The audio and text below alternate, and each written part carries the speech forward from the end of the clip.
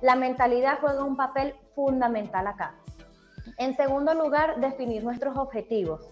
No es igual hacer una planificación si nosotros tenemos como objetivos viajar a la playa que viajar a la montaña. Son dos objetivos totalmente distintos, por lo tanto, las estrategias y la manera como vamos a lograr este objetivo es totalmente distinto.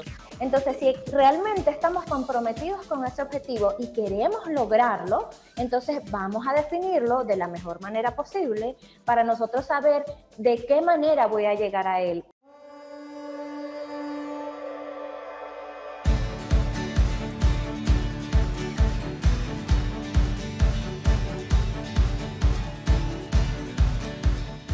Bueno, a todas las personas que se conectaron en el live de hoy, muchísimas gracias. Para el bien tener hay que ser primero el bien hacer. Y para el bien hacer hay que, hay que estar primero en el ser, en quién soy yo y a dónde voy, ¿no? Recuerden que es importante eh, sentirlo realmente. Escuchar nuestros pensamientos, eh, sentir nuestras emociones y saber cómo nosotros estamos accionando. Saber que pensamiento, emoción, acción en coherencia hace un impacto positivo.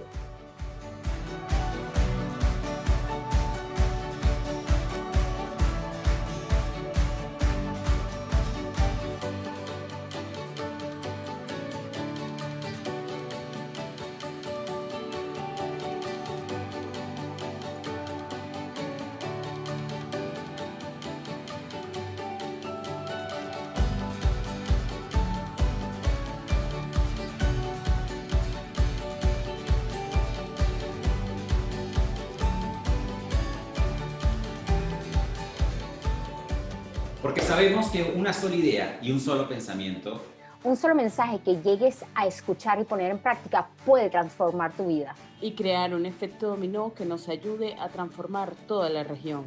Por esa razón trabajamos para ti día tras día para que cada martes puedas escuchar de las mentes más brillantes de habla hispana cientos de ideas, cientos de pensamientos y cientos de mensajes que te impulsen a una mejor versión de ti porque el verdadero cambio viene de adentro hacia afuera. Y por eso celebramos junto a ti este primer aniversario del programa Progresando Ando. Y darte las gracias por sintonizar el mensaje que necesitabas escuchar para transformar tu vida.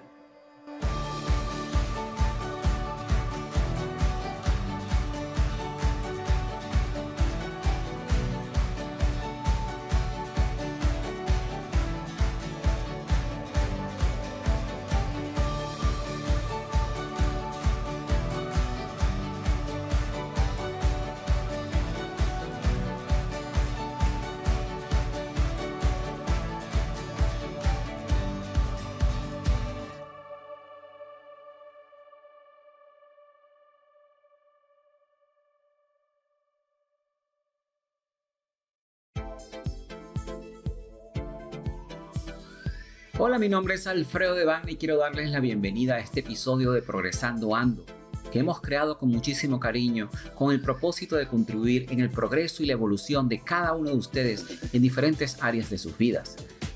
Como saben, nuestra misión es impulsar el poder del uno, uniendo fuerzas con los creadores de cambio, los visionarios, los perturbados con el status quo y con los que quieren coelevar a una región entera para despertar la conciencia, para que entendamos que unidos somos una fuerza imparable que puede transformar, desarrollar y hacer crecer a nuestros países hispanohablantes.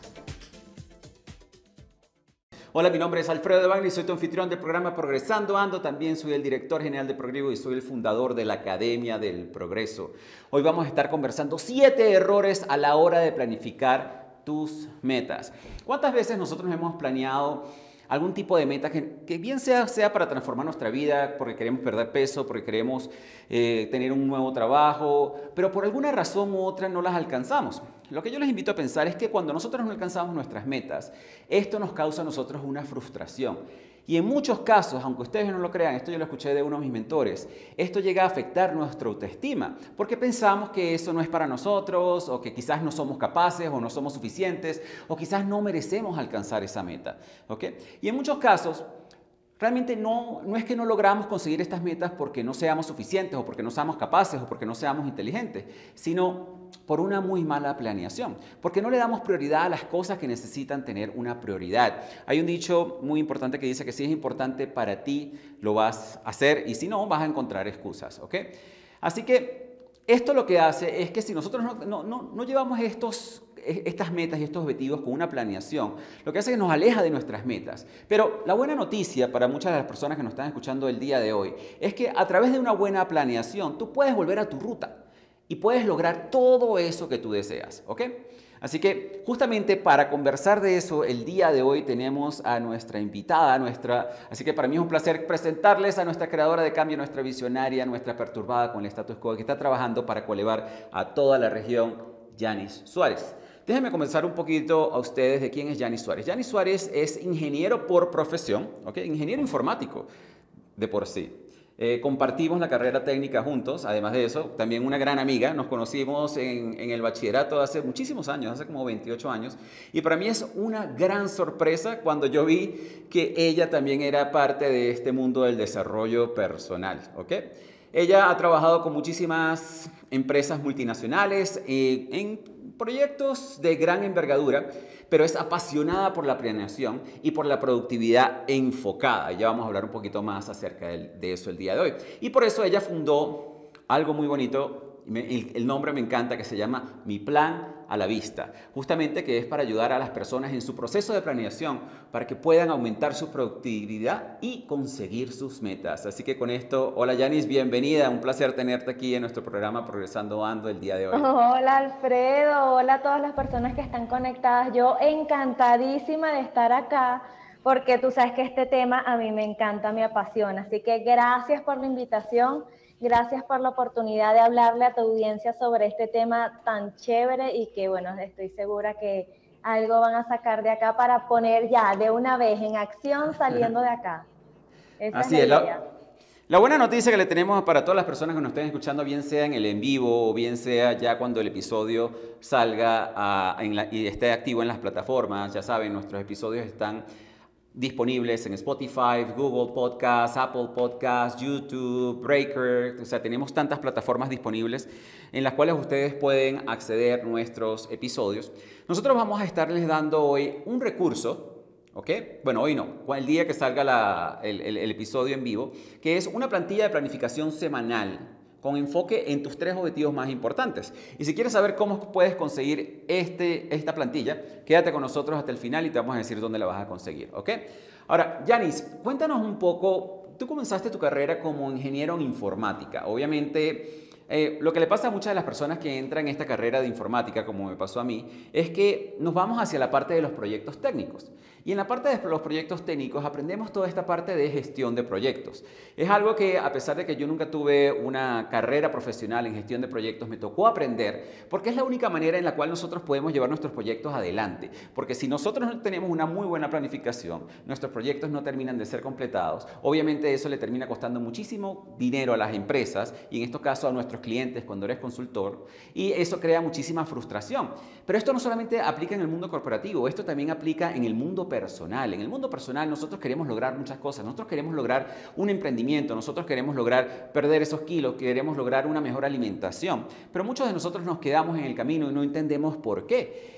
Y Existen muchos factores que pueden estar afectando eso, entre eso es la mentalidad y muchas de las otras cosas, obstáculos que se te presentan en el camino, pero yo pienso que cuando tú tienes una muy buena planeación, tú eres capaz de superar todos esos obstáculos que se te puedan colocar en el camino.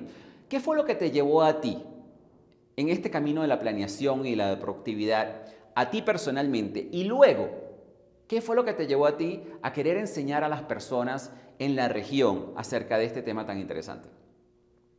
Bueno, fíjate Alfredo que yo de por sí, de manera natural, siempre he sido una persona muy estructurada, muy organizada. Siempre era de ponerme metas y enseguida preguntarme qué debo hacer para lograr eso.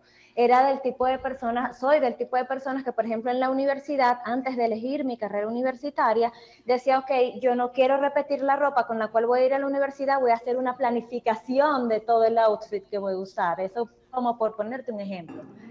Afortunadamente elegí una carrera que me ayudó a mantener esa estructura y a darle más metodología. Ya yo sabía que había algo más aparte de la mentalidad, porque indudablemente, Alfredo, lo que acabas de decir, la mentalidad es la base para nosotros poder lograr todos nuestros objetivos. Debemos trabajar en una mentalidad orientada al éxito, que ya tú te sientas que realmente estás cumpliendo con ese objetivo aun cuando no tengas, no hayas llegado a esa meta que te has definido. Ahora, si vamos a hablar de la planificación, la planificación no es más que el mecanismo con el cual nosotros vamos a lograr eso. Pero la planificación por sí misma no es nada. La planificación por sí misma puede ser un papel que se nos quedó pegado en la nevera el día que dijimos quiero bajar de peso y en el papel está qué vas a comer el lunes, qué vas a comer el martes, qué ejercicio vas a hacer cada día. Pero si no, no tenemos una mentalidad orientada a esa meta, si no estamos comprometidos con lograr ese objetivo, esa planificación no sirve de nada. Y de hecho, el, el, nombre que le puse a la cuenta de mi plan a la vista es precisamente porque siempre debemos tener a la vista nuestro plan, que es el mapa con el cual vamos a llegar a nuestro tesoro, que es ese objetivo al cual queremos llegar. Entonces, realmente, ¿qué debemos tener a la vista? La mentalidad con la cual vamos a lograr las cosas, el objetivo a dónde queremos llegar, porque no podemos planificar nada sin saber a dónde queremos ir y efectivamente las herramientas o la estrategia que me va a permitir llegar a ese objetivo. Entonces, y ahí tocaste un punto. Que al, al, hablar de planificación hablemos de todos estos elementos. Sí, definitivamente. Y ahí tocaste un punto que es muy importante y es el hecho de que realmente nosotros no podemos planificar una ruta sin saber hacia dónde vamos. ¿Qué es lo que le pasa a muchísimas de las personas? Muchísimas de las personas empiezan a planificar algo, pero sin tener una ruta clara. Sin decir, bueno, yo quiero llegar de aquí a Bogotá en carro y resulta que estoy en Medellín. ¿Ok? Sino que dicen, bueno, quiero llegar a alguna ciudad en Colombia y no dicen cuál, ni, ni, saben qué, camino van a tomar, ni nada de eso. O sea, que es muy importante ese punto que, que tocaste, que es muy importante saber para dónde vamos para poder, en base a eso, tener toda una ruta de planificación. Ahora, ¿qué fue lo que te llevó a ti a querer ayudar a las personas en esta ruta de la planificación y de la productividad? Bueno, fíjate, Alfredo, que esto lo descubrí yo hace alrededor de 10 años. Yo fui profesora universitaria y en ese momento, cuando yo llevaba a la par mi carrera como ingeniero en informática y empecé a llevar esa experiencia a las aulas de una universidad, ahí me di cuenta que realmente eso quería hacer yo. Yo quería transmitir lo que sabía, quería compartir lo que me ha servido y lo que no me ha servido, porque tenemos que entender que somos personas tan distintas unos a otros, que lo que te funciona a ti posiblemente no me funciona a mí. Y a mí eso me llenó de muchísima satisfacción compartir eso. Sí es cierto que en el momento no tomé la decisión, pero te comento que este año no tomé la decisión de, enseñar en ese momento, es lo que quiero decir. Estaba enseñando informática a unos chamos de comunicación social, perfecto, pero este año llegó un momento en el que yo dije, yo quiero, yo quiero impactar a mucha gente, yo quiero ayudar a muchas personas, ¿cómo lo puedo hacer? Y en ese proceso de cómo lo puedo hacer, empezaron a llegar las personas, empezaron a llegar las ideas, empecé a tomar acción. La acción da claridad, Alfredo. Si yo me hubiese quedado pensando cómo puedo hacer para ayudar a la gente, cómo puedo hacer para transmitir lo que me ha funcionado y lo que no, yo creo que hoy día no estuviéramos hablando como lo estamos haciendo. Porque efectivamente, en la medida que fui tomando acción, fue que las ideas y la claridad fue llegando. Así es. En un momento dado, hace tres meses más o menos, alguien me preguntó, ¿tú estás enseñando lo que sabes?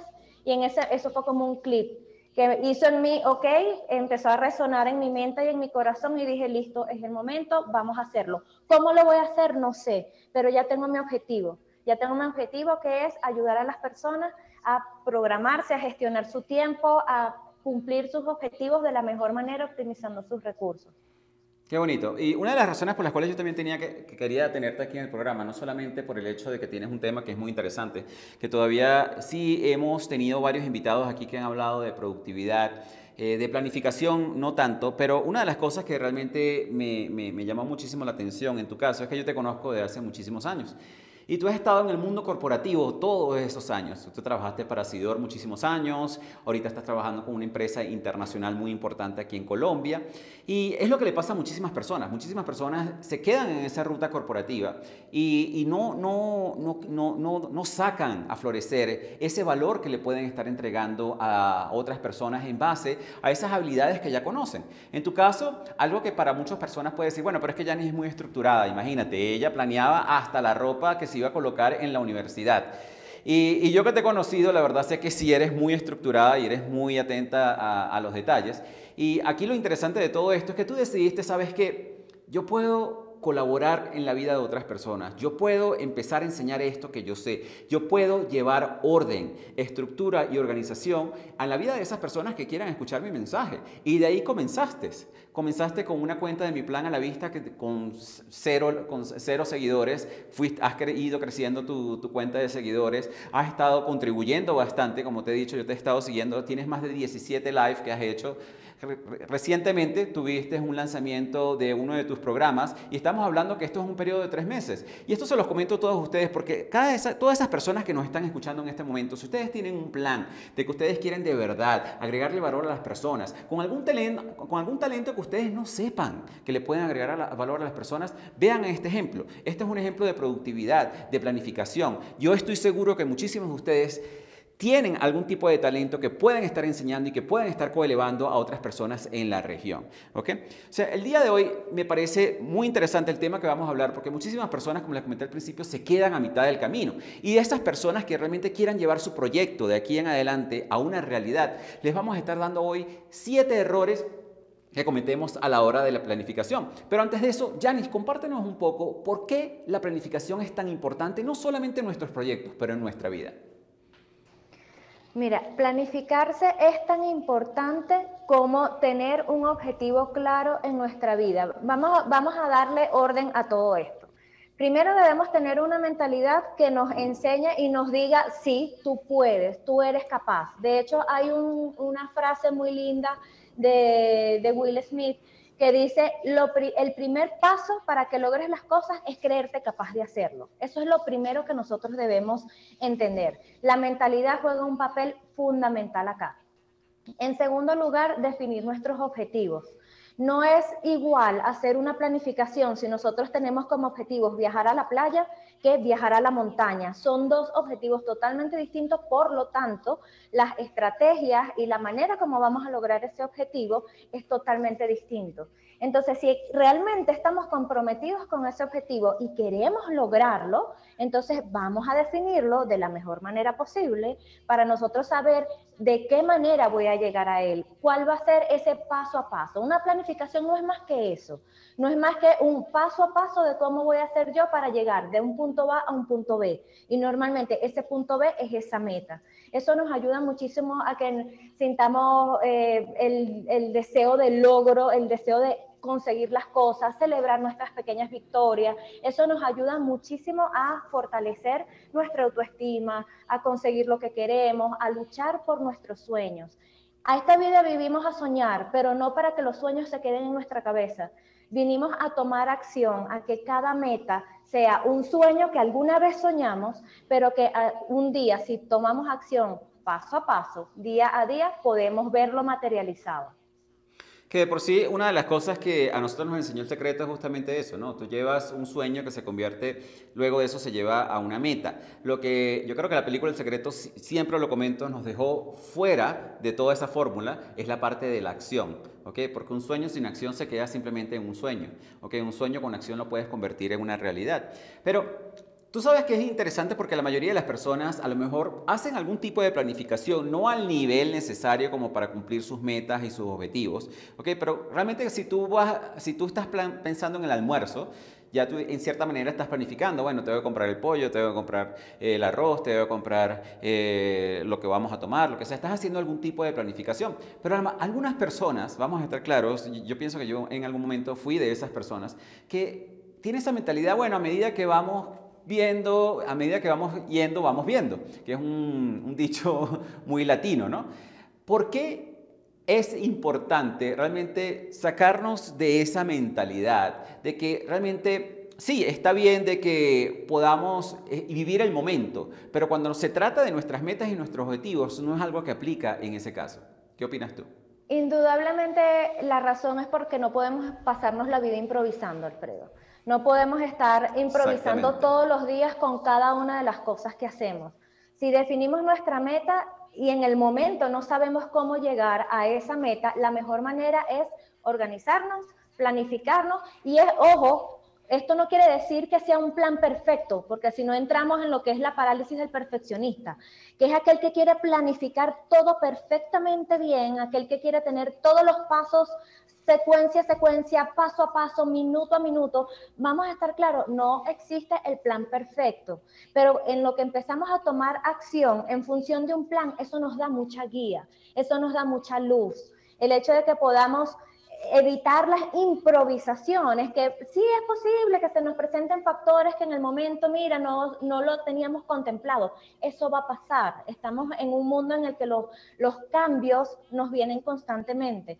Pero imagínate tú una persona, cómo puede afrontar los cambios cuando tiene un plan respecto a alguien que no está para nada planificado. Definitivamente puede entrar eh, en un colapso hasta nervioso, diría yo, inclusive.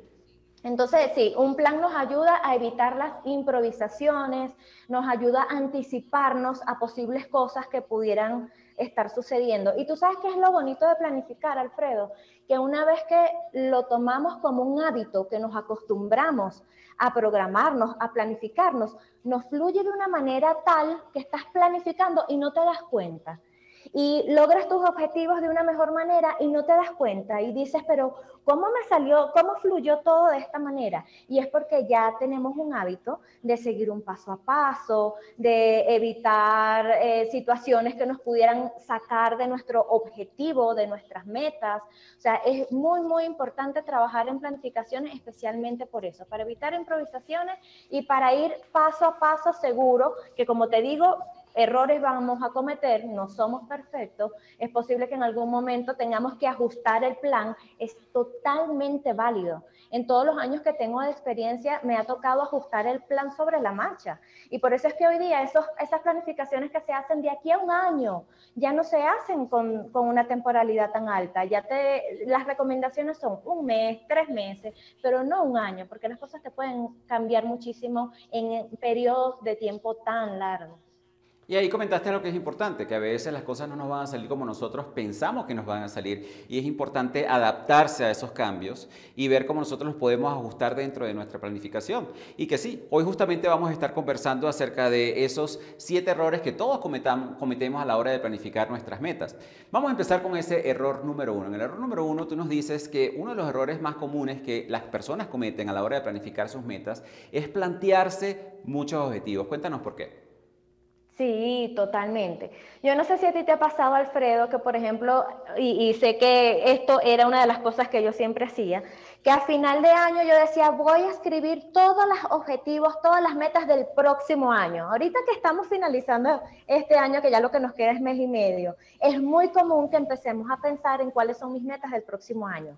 Ah, no, mi lista era una lista de Papá Noel larguísima de todo lo que yo quería cumplir en el próximo año. Y eso es un error, querer colocar muchísimas metas y más cuando no las acotamos en el tiempo de decir estas son para el primer mes, estas son para el segundo mes, etcétera, etcétera. Pero el punto aquí es que cuando queremos hacer una lista demasiado larga de todas las metas que queremos lograr, eso no, no nos permite poder acotar en cuáles, ahí no estamos viendo cuáles son las más importantes, cuáles tienen más prioridad, cuáles son más urgentes, porque pudiéramos incluso estarlas priorizando. No estamos viendo nada de eso. Simplemente estamos anotando una gran cantidad de listas y no nos da chance de comprometernos realmente. ¿Cuándo sí vemos un compromiso al momento de tomar eh, eh, eh, como objetivos, metas que queremos cumplir cuando acotamos a máximo tres, máximo tres objetivos. Y esa es la recomendación en cuanto a este punto. Si usted no quiere tener una lista de múltiples metas, de múltiples objetivos, enfóquese en tres como seres humanos, el hecho de que nos enfoquemos en solo tres, en tres metas nos ayuda muchísimo a que efectivamente las podamos lograr. Ahora, ¿qué pasa cuando logramos esas tres metas? Podemos agarrar tres más. Agarramos de esa lista de deseos que teníamos, volvemos a priorizar y volvemos a tomar tres más. Esto tiene que ver mucho con el enfoque. Y aquí no quiero irme a, ajá, pero ¿en cuál temporalidad? En todas, en todas si estamos hablando de mis metas del día, lo que quiero lograr hoy en mi planificación, tomemos cuáles son esas tres metas que yo definí para el día de hoy, que sí o sí las tengo que cumplir el, cuando finalice el día. Si finalizo, si estamos hablando de la semana, ¿cuáles son esas tres metas que sí o sí debo cumplir cuando termine la semana? Y la, la, manera de que podamos enfocarnos en el cumplimiento de nuestras metas y no sintamos frustración de que me hice una lista de 20 y he logrado solo una, es que vayamos, nos vayamos comiendo la torta de a pedacitos. Es cierto, queremos cumplir con muchísimas cosas, queremos, queremos tener muchas cosas materializadas, pero ya va, vamos poco a poco, tenemos recursos finitos, entonces vamos de tres en tres. Ahora, hay momentos en los que me dicen, Yanni, pero es que se me hace difícil eh, nada más elegir tres. Ok, vamos a hacer algo. Escoge la principal y dos secundarias. Esa es otra manera también de poder evitar eso de escribir 10.000 metas. Ok, escríbelas si quieres. Haz un vaciado de mente. De hecho, hay un ejercicio muy bonito que es el vaciado de la mente, que tú te pones a escribir todo lo que quieras, pero no te vas a enfocar en todas. Aquí estamos hablando de enfoque. Vamos a enfocarnos en las tres principales o en una principal y dos secundarias. Y yo creo que aquí es importante marcar esa diferencia, que o sea que no hay nada malo con plantearse muchísimas metas y muchísimos objetivos, es simplemente cómo tú las divides durante tu planeación, ¿no? Y, justamente porque estamos hablando de planeación, una de las cosas que yo hago es, yo tengo diferentes metas, yo tengo mis metas personales, tengo mis metas corporativas y en base a mis metas corporativas, yo manejo varias empresas, entonces yo tengo que manejar mis metas dependiendo de cada una de las empresas y dentro de cada una de las empresas yo tengo diferentes proyectos que están sucediendo al mismo tiempo y cada uno de esos proyectos tiene diferentes metas y diferentes objetivos. Entonces eso es lo que yo hago, es definitivamente lo que tú dices, yo tengo que hacer un vaciado completo de todas las cosas que yo sé que tengo que realizar en, en este mes o en este año o en esta semana, de la misma manera de lo que tengo que hacer yo a nivel corporativo en, en cuanto a mis empresas, de los diferentes proyectos que andan andando, ¿no? Pero aquí la parte que es importante es justamente no confundir eso. Está bien, porque nosotros nos tenemos que planificar a cinco años, nos tenemos que planificar a tres años, nos tenemos que planificar a un año, nos tenemos que planificar a tres meses, nos tenemos que planificar semanalmente y definitivamente también a diario.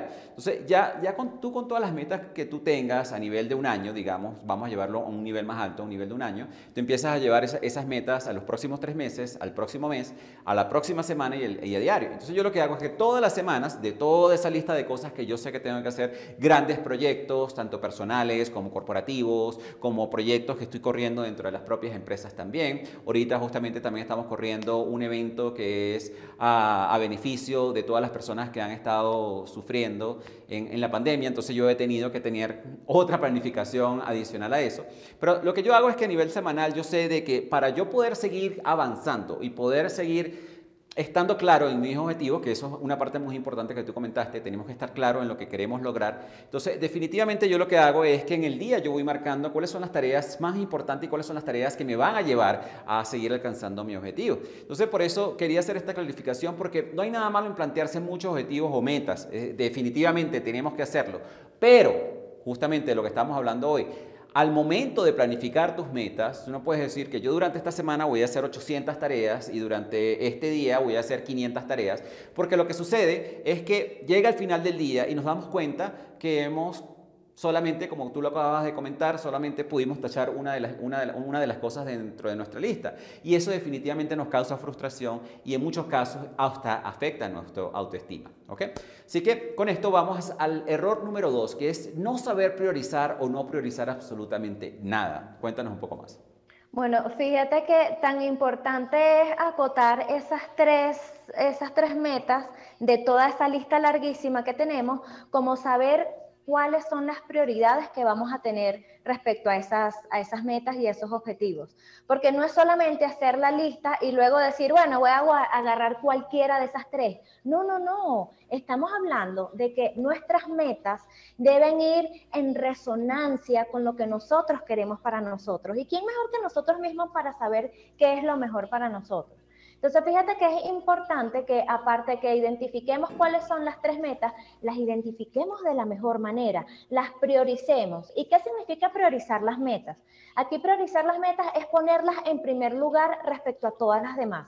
Porque si yo tengo mi planificación del día de hoy, por ejemplo, y yo digo, ok, yo tengo hoy seis actividades por cumplir, ok, pero de esas seis, ¿cuáles son las tres que yo debería estar colocando en primer lugar? Que a eso nos referimos con priorizar. ¿Cuáles son esas tres tareas que deberían estar a principio que sí o sí cuando yo termine el día deben estar cumplidas? Hay muchas técnicas, Alfredo, muchas técnicas para priorizar. Y aquí mi recomendación es que vayas probando para que te des cuenta con cuál te sientes más afín al momento de priorizar. Por ejemplo, hay momentos en los que yo tengo una tarea que es muy importante, pero que es una tarea que a mí me genera más, más tiempo de dedicación o es una tarea súper compleja. Entonces aplico una técnica súper chévere que se llama cómete la rana.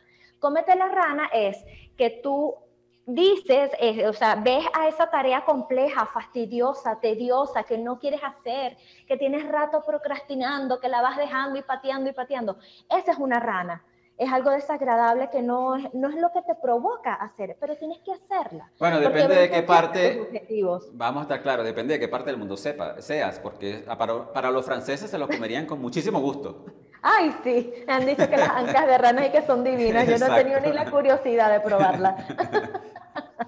Pero asociando la rana como con esa, ese animalito feo que tú ves y uh, no me gusta tanto, eh, esa es la tarea que, según esta técnica, podemos dejar al principio del día. ¿Y por qué al principio del día? Porque al principio del día es cuando estamos con más energía, tenemos más ánimo, tenemos más disposición. A mí personalmente me ha pasado que dejo esas actividades complejas tediosas, que requieren más decisión, más concentración de mi parte, para el final del día y me pasan dos cosas. O la dejo para el otro día porque digo, no, mejor la planifico para mañana, ya estoy muy cansada, estoy agotada, o me queda mal. Me queda mal, ¿por qué? Porque estoy tan desesperada por salir de esa actividad que no le doy el enfoque necesario, no le doy la atención que se requiere. Entonces, actividades como esa, eh, eh, técnicas como esta, la de la rana, es, es muy utilizada para tareas complejas que pudieras hacer en la mañana. ¿Cuál es otra manera también de priorizar nuestras actividades y nuestros objetivos del día? Pues haciendo una relación entre importancia y urgencia esto es importante y es urgente que lo haga, sí, listo, me quedo en la lista, en la parte de arriba de las cosas que debo hacer hoy. Esto es muy, muy importante, pero no es tan urgente. Lo puedo planificar para, para mañana. No es necesario que lo haga hoy porque no es, ni, ni, no es urgente, pero es importante, lo hago mañana.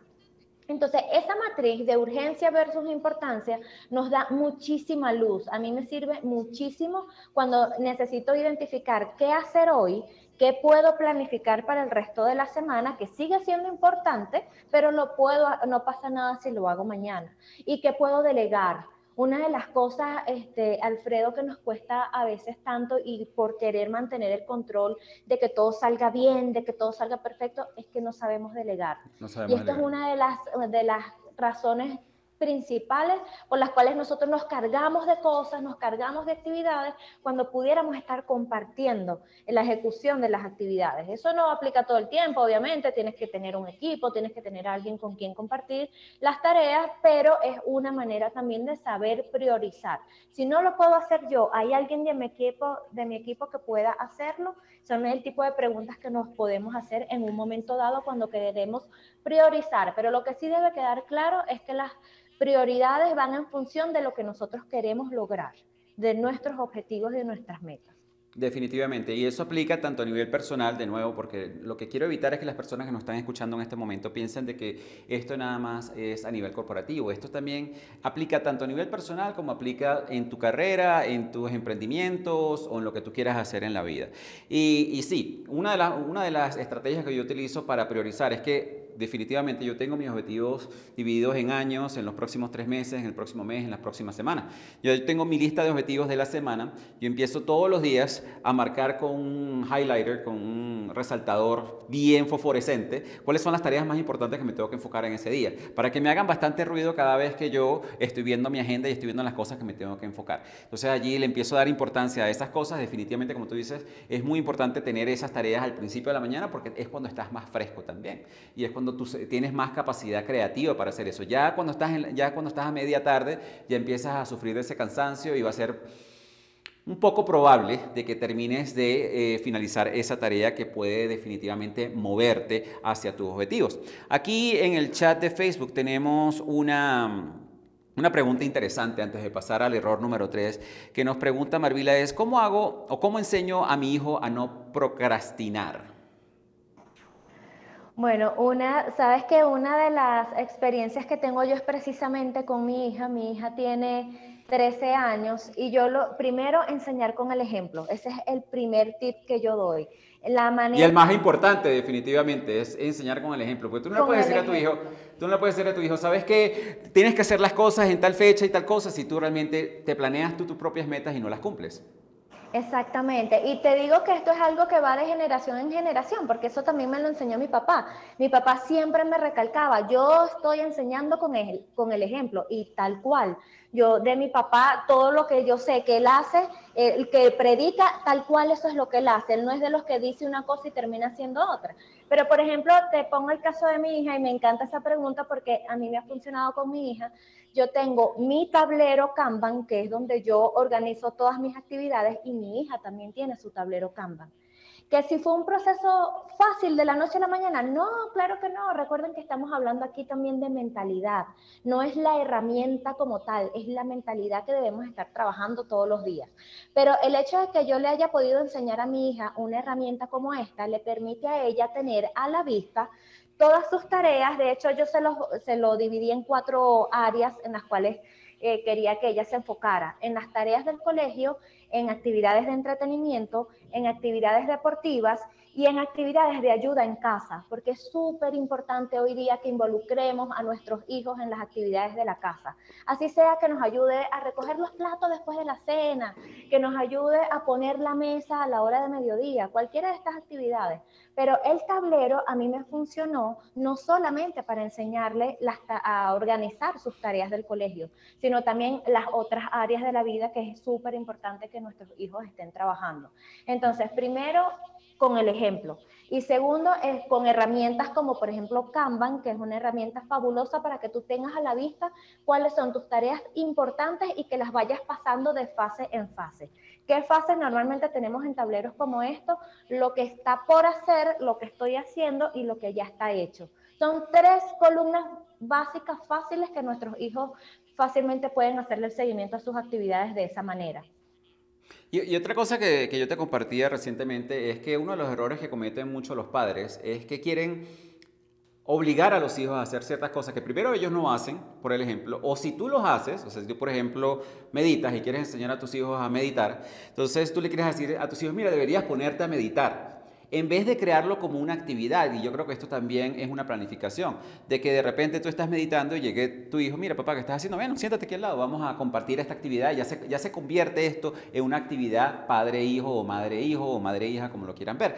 Lo mismo lo puedes hacer con la planificación. Si tú eres la persona que te estás planificando todos los domingos, Llama a tu hijo, te, lo sientas al lado tuyo y le dices, ven, vamos a planificarnos de la semana. ¿Qué quieres lograr tú esta semana? ¿Qué te gustaría lograr? ¿Qué metas vamos a alcanzar? Mira, a mí me gustaría alcanzar esto y lo conviertes en una actividad más allá que una tarea obligatoria que tú le estás mandando a hacer a tus hijos.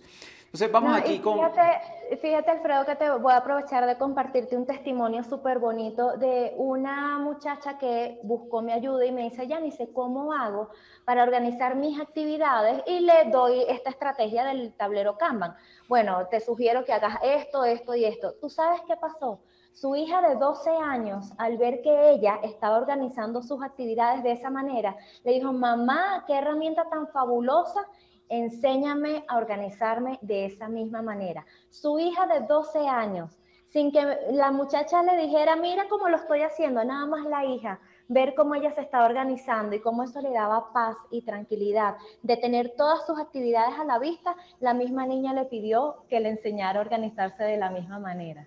Ese es un tremendo ejemplo, ese es un tremendo ejemplo. Entonces continuamos, vamos a continuar aquí entonces con el error número 3. En el error número 3 tú nos dices que uno de los errores más comunes que se cometen a la hora de planificar tus metas es no saber definirlas, es no saber definir las metas. ¿Por qué tú piensas que es un error muy común? Cuéntanos un poco más acerca de eso. Sí, sí, sí, sí. A veces nos, nos alumbramos queriendo tantas cosas, Alfredo, y es tan importante aprender a definir cuáles son esas metas. Sabes que en muchas oportunidades tenemos metas que son prestadas y yo creo que este es el punto en el cual nosotros deberíamos estar tomando mucha conciencia, porque es un tema de conciencia.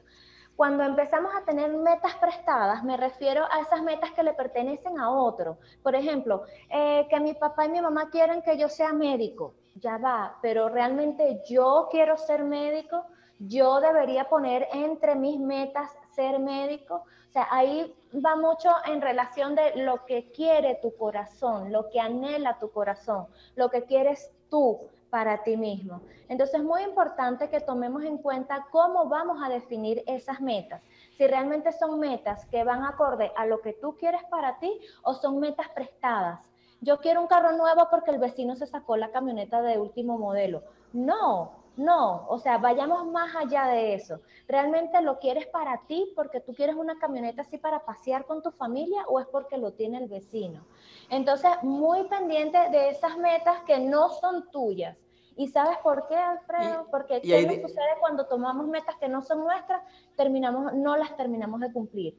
Definitivamente porque sabes que no son tuyas. Pero ahí dijiste, ahí dijiste un punto que es muy importante y es realmente entender el por qué tú quieres alcanzar esa meta. Cuando te empiezas a cuestionar tu meta, por decirte como acabas de decir, yo quiero el carro último modelo, pero ¿por qué? Ah, bueno, porque lo tiene, lo tiene mi vecino. Ajá, pero si lo tiene tu vecino, eso quiere decir que tú lo quieras. No, en realidad yo no lo quiero, es simplemente que se le ve bien. Ajá, entonces ¿qué carro te gustaría a ti? Ah, me gustaría tal. Ah, entonces ahí empiezas a definir un poco más tus metas, igual con el ejemplo que diste cuando tus padres quieren que tú seas de una carrera en específico. Entonces, ok, quiero ser médico, pero ¿por qué? Porque mi papá quiere que yo sea médico. Ok, ese es tu papá, pero ¿qué quieres tú? Y empiezas a cuestionar tus metas y definitivamente empiezas a definir esas metas. ¿Qué recomendación nos das entonces para estas personas que no saben definir las metas? Mira, en este caso las metas las podemos definir con tres características principales, que sean objetivos o metas que sean específicas, que sean alcanzables y que tengan una temporalidad en el tiempo. Yo, por ejemplo, no puedo decir, ajá, yo quiero correr un maratón, pero no puedo decir quiero correr un maratón y no ponerle fecha a eso y no ser que no sea una meta alcanzable. Por ejemplo, quiero correr un maratón en diciembre. Ajá, para diciembre falta un mes y no estoy entrenando. Entonces, ¿es realmente alcanzable esa meta? No, no es alcanzable. Entonces, tres características fundamentales para saber si una meta está bien definida o no, que sea alcanzable, que sea medible y que la, o sea, que sea específica y que la podemos acotar en el tiempo. No pongamos metas de que voy a rebajar un kilo, ajá, pero ¿cuándo? ¿Cómo? Bueno, algún día, en algún, momento. No, no nos podemos permitir ese lujo. el tiempo es el activo más importante que tenemos. Por lo tanto, aprovechémoslo de la mejor manera, haciendo que, cumpliendo nuestras metas, cumpliendo nuestros sueños. ¿Qué mejor manera de aprovechar nuestro tiempo que eso? Definitivamente. Mira, por aquí nos comentan las personas que estamos conectadas, que están conectadas en Facebook, nos hacen otra pregunta y las personas que están conectadas también en Instagram, si quieren hacer alguna pregunta, por favor, aquí los estoy leyendo. Eh, aquí nos dicen, ya que hemos mencionado tanto la palabra Canva, eso se, se, utiliza muchísimo a nivel de proyectos técnicos, la gente quiere saber qué es una herramienta Canva, Janice. Ay, sí, perdón que la mencioné y no, no dije en qué momento. Resulta que Kanban es una herramienta utilizada en metodologías ágiles en el mundo de, la parte de desarrollo técnico, pero que yo la he aplicado incluso a mi vida personal y como les expliqué, también le enseñé a mi hija. Kanban es una herramienta que se empezó a usar en los años 80 en la Toyota. La Toyota se dio cuenta que tenían muchos problemas en algunas partes productivas de, su, de toda su línea productiva que les estaba costando la calidad de sus productos. Entonces dijeron, ok, vamos a hacer un tablero visual. Kanban en japonés lo que quiere decir es tablero visual. Y ellos lo que hicieron fue un tablero en donde iban colocando todas las actividades que debían hacer quiénes debían hacerlas, en qué fases debían hacerlas y las iban cambiando de posición y cada posición era un estado de la tarjeta. ¿Cuáles eran los estados que se manejaban? Bueno, si está en progreso, si está pendiente, si está culminada. En mi caso, yo trabajo con tres estados súper sencillos, que es si no lo he hecho, si lo estoy haciendo y si ya lo hice. Y no es más que colocar cada una de las tareas, de las actividades que debamos hacer en un post-it o también tenemos herramientas eh, digitales. en donde tú puedes ir moviendo la tarjeta del lugar. Pero la idea de esto es que entendamos que Kanban es una herramienta en donde tenemos tarjetas visuales donde cada tarjeta representa una tarea y tú le das movimiento a la tarea en función de los estados por los cuales vaya pasando esa tarea. Definitivamente. Bueno, de, de, por sí nosotros en la empresa utilizamos esa metodología, la, utilizamos a nivel de, de, la metodología Agile que tú le acabas de mencionar, que utiliza los tableros Canva. Y los tableros Canva justamente tenemos estas tres columnas. Por hacer, lo que se llama el backlog, en progreso y ya, y ya completado. Y es una herramienta que definitivamente te permite ver el, avance de las diferentes cosas y de las diferentes tareas y objetivos que tú tienes para realizar en esa semana, en ese mes, o como se utiliza en la metodología Agile en ese sprint. Okay, el sprint es un tiempo determinado, por ejemplo, puede ser una semana, pueden ser dos semanas, hay sprints de un mes, y en el cual entonces tú vas llevando la trazabilidad de cada una de las tareas que tienes que ir cumpliendo durante ese día. Aquí, antes de entrar en el error número 4, nos hacen una pregunta que es muy interesante y, y, yo tengo aquí mi visión personal con respecto a esto, pero me gustaría ver la tuya. Dice, ¿el no delegar puede ser falta de confianza? Totalmente. Totalmente, porque una de las cosas que nos sucede a todos los empresarios, e incluso no, no solamente a nivel de empresarios, incluso a las mamás, a los papás, que no delegan una tarea porque primero sienten que nadie los va a hacer mejor que ellos, ¿ok? Y porque no tienen la confianza suficiente que la persona, bien sea un hijo o bien sea, por ejemplo, si tú eres papá y quieres delegar que alguien te corte la grama, pero nadie puede cortar la grama mejor que tú, eso definitivamente es falta de confianza. Y es una de las cosas que es más importante es trabajar, porque una de las cosas que sí me comentó uno de los aprendizajes que, que, que tuve de, de, de, uno de mis coaches es que la única manera de avanzar es empezar a sacar de, de tu lista de tareas, esas tareas que tú puedes empezar a delegar, ¿ok? Para que te liberen el tiempo, que tú puedas definitivamente enfocarte en lo que es importante para ti, ¿ok? De por sí nosotros dentro de la empresa, eh, con, con, mi hermana, una de las cosas que yo siempre le digo a ella y con mis hermanas es que nosotros nos tenemos que despedir de las funciones más... Eh, que sean menos estratégicas para nosotros. O sea, por, por, ejemplo, yo hago muchas tareas técnicas. Yo podría estar delegando esas tareas a otras personas. En este momento eh, estamos buscando recursos para algunas de esas cosas porque justamente se trata de eso. Yo me tengo que despedir de las tareas técnicas. Eh, yo puedo estar ofreciendo muchísimo más valor en otras cosas que sean más importantes para la empresa. ¿Qué opinas tú, Janis? No, y fíjate, Alfredo, que este punto me encanta que lo hayan preguntado porque este es un trabajo mental de nosotros mismos. Es un Totalmente. trabajo propio. O sea, no es que la persona, esa tercera persona en la cual nosotros pudiéramos delegar algo, no esté en la capacidad de hacerlo. Claro que sí. Que tal vez al principio no lo haga porque no lo haga perfectamente bien o lo haga estupendo porque no está acostumbrado a hacerlo. Sí, es posible. Pero nos sorprendería la manera como tantas personas nos sorprenden gratamente al hacer algo que nosotros en algún momento dado, por un bloqueo mental que tenemos nosotros, de no saber delegar, nos puede, nos puede resultar muchísimo mejor. Te ayuda con tus tareas y le das la oportunidad a esa persona a hacer las cosas incluso a su manera. Que no lo hagan a la manera de uno no quiere decir que esté mal, mm. que no lo hagan a la manera de uno no quiere decir que eh, hay muchas maneras de hacer las cosas. Entonces debemos aprender a ser flexibles. Eh, la parte de la, de la, delegación viene con eso, aprender a ser flexibles y a confiar en que una tercera persona también lo puede hacer incluso a su manera. Sí, no, pero incluso también cometemos un error muy grave a la hora de delegar. Le podemos decir a la persona, mira, quiero que cortes la grama. Pero no le decimos cómo. Y no somos específicos. No la, y no les, enseñamos, no les enseñamos cómo nos gusta que sea. Igualito, mira, me gustaría que hicieras el arroz. Ajá, pero no le decimos, mira, me gustaría... Eso definitivamente a la hora de delegar también es una oportunidad para ti de hacer coaching y es una oportunidad para ti también para enseñar a la persona a hacer esa tarea en específico. Si tú quieres que la persona haga la tarea de una manera en específico, definitivamente enséñala a hacerla. No simplemente le digas, haz esto y hazlo por ya. No, mira, esta es la manera que yo lo hago y se convierte en una actividad en conjunto en la cual tú le dices a la persona, yo lo hago de esta manera, yo le echo la sal de esta manera porque me gusta de esta manera y tú lo puedes hacer como tú quieras, pero esta es la manera en que yo lo hago. Después tú lo puedes ir adaptando a tu propia manera. Fíjate, Alfredo, que con el tema de la delegación, a mí particularmente yo tengo un concepto y es que es un proceso de co-creación, porque co realmente totalmente. es una manera en que yo te digo, yo lo haría de esta manera, ¿cómo lo harías tú? Y de esa manera, co-creando entre ambos puede resultar algo fabuloso, porque nosotros no nos la sabemos todas, Alfredo. Así es. Hay muchas maneras de hacer las cosas. Entonces, qué bonito es cuando nosotros empezamos a aprender a delegar, superamos nosotros estas barreras que tenemos personalmente y empezamos a ese proceso de co-creación con el otro sobre esas tareas que pudiéramos estar delegando en un momento dado. Completamente.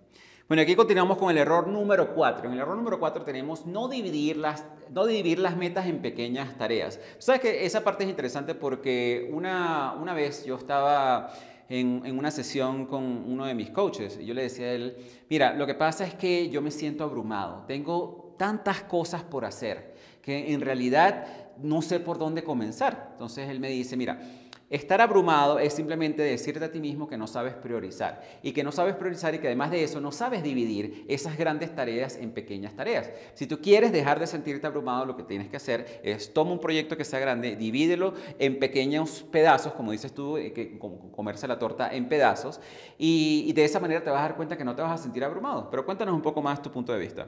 Mira, aquí hay un refrán que les voy a decir y es el que nos va a permitir entender este punto perfectamente, este error que cometemos de no dividir una meta en pequeñas partes. Y es divide y vencerás. Si tienes un problema muy grande, si tienes una meta muy grande, divídela en pedacitos. No pasa absolutamente nada que dividamos una meta muy grande en pedacitos. Al contrario, eso nos da claridad de qué es lo que necesitamos para lograr esa meta. Entonces, divide y vencerás. Y esto aplica no solamente a las metas, como les acabo de decir, sino a los grandes problemas. Si ustedes tienen una situación en un momento dado y lo ven demasiado grande, empiecenlo a dividir en pequeños pedacitos. Empiecenlo a ver desde diferentes ángulos, porque ver la situación o ver la meta desde diferentes ángulos te va a permitir decir, ah, ok, pero si hago esto primero, ¿qué sucedería? Si hago esto otro, ¿qué sucedería? Y lo vas dividiendo en pequeñas actividades. Siempre una meta la vas a dividir en pequeñas tareas o actividades que las vas a poder distribuir en tu mes, en tu semana y en tu día. Les pongo un ejemplo. Eh, si yo tengo como meta eh, inscribirme en un maratón, evidentemente yo tengo que comerme esa meta por pedacitos y decir, ok, para correr un maratón se requiere una buena alimentación. Entonces disparo mi cantidad de actividades y de tareas respecto a la alimentación. Para correr un maratón necesito un buen plan de entrenamiento y de fortalecimiento muscular. Ok, entonces disparo mi cantidad de actividades y de tareas que me lleven a esa meta. Entonces fíjense cómo de una misma meta yo pudiera estar atendiendo desde diferentes puntos de vista las tareas, las micro tareas que voy a estar ejecutando cada día. Recordemos que esto es de cada día. Una vez que nosotros dividamos nuestra meta, eh, por ejemplo, en 30 actividades diarias, ya sabemos que al final del mes vamos a estar más cerca de esa meta que el primer día cuando empezamos. Entonces, súper importante que las metas no las veamos como cosas lejanas, inalcanzables, no. Vamos a dividirlas en tareas y vamos a trabajar cada día por esas tareas en las cuales dividimos nuestra meta principal. Y justamente eso nos va a ayudar a nosotros a no sentirnos abrumados, a no sentirnos que, que, esa parálisis que tú no sabes por dónde comenzar, que era una de las cosas que, que, me sucedía a mí. Cuando yo empecé a dividir esas grandes tareas en pequeños proyectos, ya sabía, bueno, yo sé que quiero alcanzar esta meta, pero primero tengo que alcanzar estas tres, entonces definitivamente eso te lo hace mucho más fácil, que es también como se le, se, le recomienda a las personas que quieren perder 40 kilos. No te, ok, sabes que tienes que perder 40, pero enfócate en el primero. Cuando, cuando pierdas el primero, ahora en el segundo. Y eso sucesivamente porque si no, eh, te vas a sentir abrumado y no vas a, no vas a conseguir tu meta. Ahora, tenemos en el punto número 5, y en el punto número 5 me parece una definición interesante porque en, en, inglés se le llama eh, la definición de insanity. Insanity es querer hacer siempre lo mismo y esperar resultados diferentes. Esa es la definición, la definición de locura. Y tú lo tienes como el error número 5, hacer siempre lo mismo y esperar resultados diferentes. Háblanos un poco más. Sí, sí, indudablemente. A veces decimos, sí, sí, es que yo estoy haciendo esto, lo estoy, eh, tengo mi planificación tal cual y la hago todos los días, pero no estoy obteniendo los resultados que quiero. Ajá, ¿y has pensado en cambiar la planificación? La planificación no es una camisa de fuerza, no es algo de que así como empezó, así debe morir. No, una planificación debe ser flexible.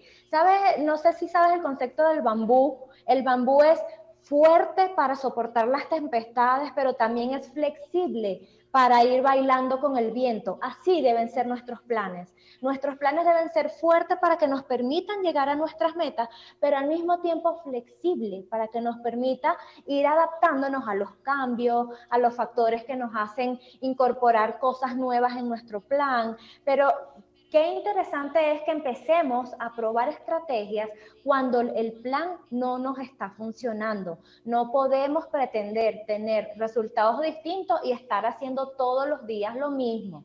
Es importante que si estás en un momento dado evaluando tus resultados y esos resultados no están en función a lo que tú esperabas, ajusta, ajusta la manera como, o lo que estás haciendo día a día para lograr esos objetivos.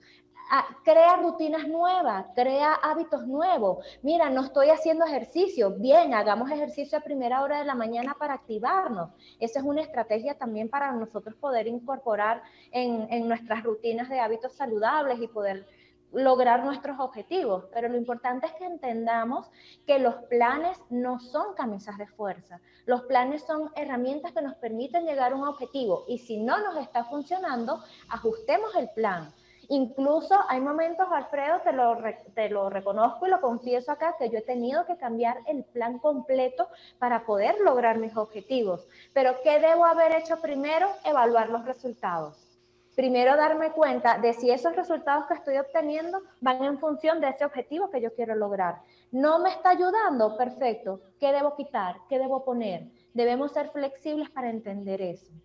Y yo creo que esa parte es importantísima porque yo creo que a la mayoría de las personas tienen problemas en, entender de que el hecho que tengas que desviarte un poco de, de, tus metas porque no las estás logrando alcanzar de la manera que tú pensabas que la querías alcanzar, no quiere decir que hayas fracasado, simplemente que te tienes que ir adaptando. O sea, si tú tenías una meta de comprarte una casa, pero resulta que, bueno, se en el camino se te presentaron otras prioridades, no quiere decir que tienes que desechar esa meta, simplemente que tienes que, intentar otras cosas para lograr esa meta. A lo mejor si estabas haciéndolo nada más con tu salario, bueno, es hora de buscar otra fuente de ingresos y, y, empezar a buscar otras alternativas que te permitan alcanzar, que te permitan alcanzar tu meta. Yo creo que esa parte es importantísima. Ahora, en el error número 6, que ya nos estamos acercando al final, en el error número 6, es querer tener resultados inmediatos. Y a mí esto es algo que me parece muy interesante porque la mayoría de las personas, y mucho más en esta época, estamos viendo una inmediatez. Queremos que todo suceda ya, queremos que todo pase ya. Y eso obviamente lo que causa es muchísima frustración. Háblanos un poco más. Ay, sí, Alfredo, yo pienso que uno de los principales enemigos de lograr nuestras, nuestras metas es la ansiedad. La ansiedad de querer ver los resultados ya de una vez. Yo quiero bajar dos kilos en una semana y empecé hoy. ¿Por qué no he bajado si me acabo de pesar? Ya va, vamos a tomarnos las cosas con calma. Entendamos que los procesos para lograr llegar a nuestras metas se logran paso a paso. Es un día a la vez. O sea, no pretendamos que por una acción que tomamos hoy, ya mañana vamos a ver resultados. Fabuloso si sucede, o sea, no nos cerramos a la idea, fabuloso, pero entendamos que todo es un proceso, es un paso a paso. Y de hecho, a mí no me gusta usar el término poco a poco. Yo antes lo usaba mucho y ahora digo, no, es paso a paso, porque cada paso que tú des es el que te va a permitir llegar a esa meta, pero entendamos y no nos dejemos eh, influenciar por esa idea de que, mira, ¿sabes qué? Debes tener los resultados ya de una vez porque tu vecino lo hizo en menos tiempo que tú. ¿Sabes cuándo empecé a entender yo esto? Cuando empecé a trotar que yo decía, cada quien tiene un ritmo distinto, cada quien tiene una estrategia distinta, por lo tanto el resultado que va a tener cada quien también va a llegar en un momento distinto y de una manera distinta. Entendamos que somos seres individuales y que independientemente de que alguien lo haya logrado en un tiempo más, un tiempo menos, tu tiempo va a ser el tiempo perfecto, siempre y cuando estemos tomando acción, Alfredo, porque aquí tampoco quiero que pensemos en que, no, sí, voy ya definí mi meta, ya definí mi plan y ya quiero tener resultados inmediatos. No, debemos tomar acción, indudablemente debemos tomar acción, pero no esperemos resultados inmediatos, porque eso nos causa estrés, nos causa ansiedad. Y si el resultado no llega de inmediato, ¿sabes qué pasa, Alfredo? Tiramos la toalla y es algo muy triste que cuando estás luchando por tus sueños, tires la toalla porque esperabas resultados en menos tiempo. Y no entendimos de que era un proceso, de que era un paso a paso. No, y que ahí tocaste un punto que es muy interesante y, y, definitivamente que también es importante. La parte de los resultados inmediatos es que todo es un proceso, que todo es paso a paso y que es muy importante también tener constancia. Porque muchas personas comienzan rápido, rápido, rápido, rápido, rápido y después entonces paran. Comienzan, siguen rápido, rápido, rápido, rápido y también paran. Lo interesante del día de hoy, yo salí a trotar también y había un señor delante mío que tenía como 15 años más que yo y él estaba trotando a su paso. yo empecé trotando un poquito más rápido, obviamente yo lo pasaba, pero de repente, claro, no estoy acostumbrado a trotar en esta altura, aquí en Bogotá están en 2.630 metros y le exigen otras cosas a tu cuerpo. Y ahí te das cuenta, ya, dame un segundo. Ok, entonces ahí te das cuenta que, que, definitivamente de, esa no es la manera, porque claro, cuando yo salía corriendo a, a, a, grandes pasos y de repente me paraba, el Señor me pasaba. Entonces yo seguía, aumentaba el ritmo y yo pasaba el Señor y de repente obviamente me cansaba y bajaba el ritmo y el Señor me pasaba. Llega un momento que obviamente ese ritmo de querer correr, correr, correr, correr y parar, correr, correr, correr, parar, parar, el Señor me pasó y hasta llegó un momento que, que, se me perdió. O sea que el Señor pudo alcanzar su meta mucho, más antes, mucho antes que yo. ¿no? Entonces esa parte sí es importante. Aquí tenemos también en el punto número 7, que lo acabas de comentar un poco, que es no tomar ninguna acción. Háblanos un poco más acerca de eso. Ese, ese error es una de, de, las cosas en las cuales nosotros debemos tomar más conciencia, Alfredo, porque el hecho de querer tener las cosas perfectas, de querer tener todas las condiciones dadas, nos impiden tomar acción. A mí me pasó. A mí me pasó con este tema de planificación, de querer ayudar a la gente, que por querer tener todas las cosas a la vez, de, de, por querer tener todos los factores, tener la cuenta en Instagram, aprender a manejar Facebook Ads, aprender a hablar en público, aprender a hacer un montón de cosas, yo no tomaba acción. Y, y eso que dentro de mi corazón esto era una decisión que ya estaba tomada. O sea, ya yo dentro de mi corazón había dicho, sí, yo lo quiero hacer, yo lo voy a hacer. Voy a ayudar a muchas personas a organizarse, a planificarse, a gestionar su tiempo. Yo tenía muy clara la meta, pero no tomaba acción.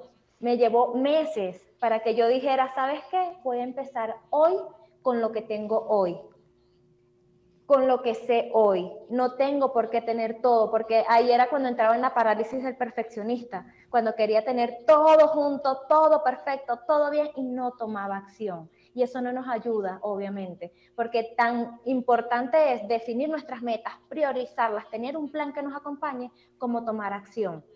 Y como dice Tony Robbins, que amo todo su contenido, acciones masivas, estamos hablando de acciones diarias, de tomar acción cada día que nos lleve a conseguir eso que queremos. Entonces, superemos los miedos, una de las razones principales por las cuales no tomamos acción, Alfredo, es o por miedo o por falta de conocimiento, porque desconocemos eso que queremos hacer. Entonces, las dos cosas tienen solución. Por un lado, enfrentemos nuestros miedos haciendo eso que nos da tanto miedo y por otro lado, busquemos información. Hoy día estamos a un clic de distancia de lo que queramos saber a través del Internet y de todas las herramientas tecnológicas que tenemos. Entonces, hoy día no hay excusa para decir, no he hecho esto porque no sé cómo hacerlo.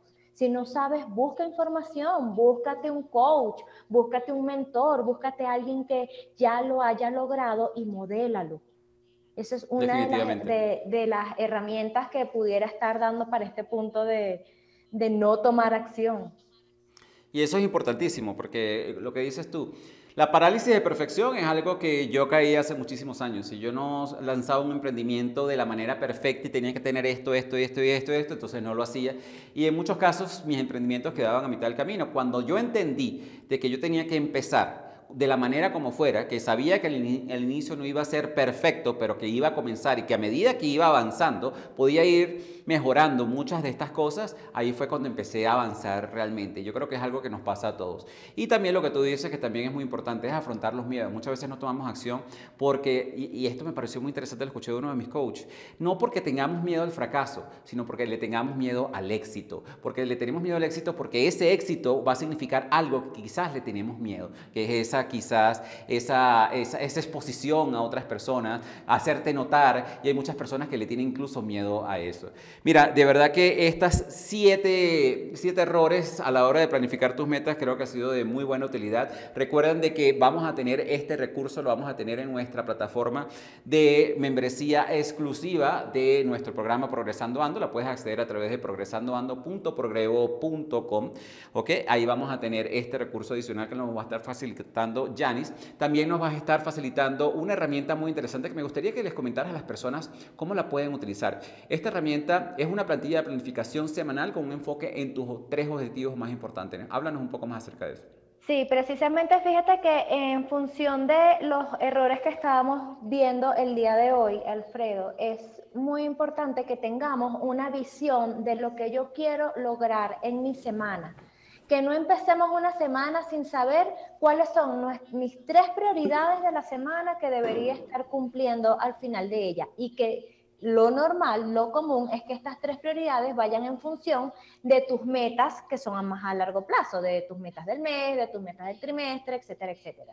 Entonces, con esta herramienta vamos a poder tener día a día un área en donde vamos a tener las actividades que vamos a estar cumpliendo por día una lista de vaciado mental en donde tú el día domingo escribiste todo lo que quieres hacer y luego lo distribuiste entre los días y unas casillas en donde vas a tener cuáles son esas prioridades. Tres prioridades. Recordemos que debemos enfocarnos en cuáles son nuestras prioridades para poder lograr esas metas. En lo que nos enfocamos se expande. Por lo tanto, si nos queremos enfocar en nuestras metas, eso es lo que vamos a expandir en nuestras vidas. Entonces, esa herramienta nos va a permitir eso, distribuir nuestras actividades durante la semana teniendo siempre el foco puesto en nuestras prioridades.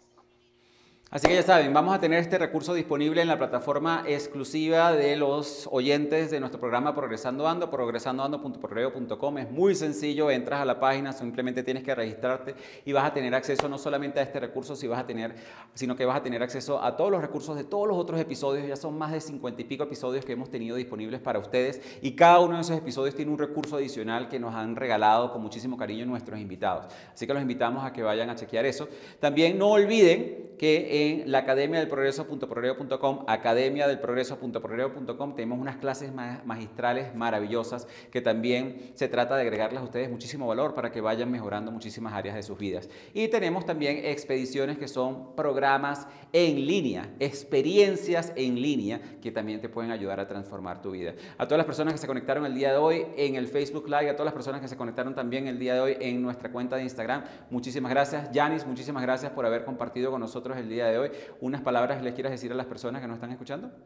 Claro que sí. Primero, gracias a ti, Alfredo, por la invitación. Yo súper complacida y contenta de estar acá con ustedes.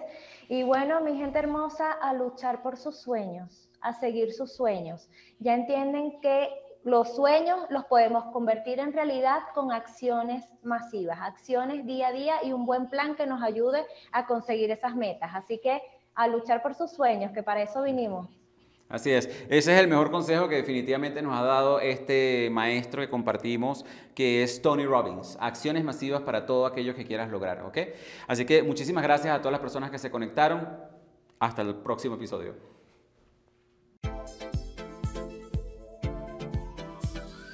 Y así hemos llegado al final de este interesante episodio de nuestro programa Progresando Ando. Te invitamos a visitar la página web de nuestro programa en la siguiente dirección, progresandoando.progrevo.com, donde encontrarás recursos gratuitos que hemos creado para ti, para contribuir en tu crecimiento personal. De igual manera, te invitamos a compartir este episodio con todas aquellas personas que tú sientas que puedan beneficiarse con este mensaje transformador para que juntos, a través del poder del uno, podamos elevar a todos nuestros hermanos y hermanas hispanohablantes.